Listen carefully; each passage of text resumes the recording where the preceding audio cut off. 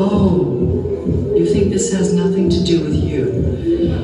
You go to your closet and you select, I don't know, that lumpy blue sweater, for instance, because you're trying to tell the world that you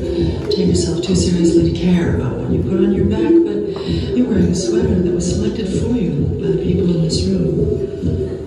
from a pile of stuff.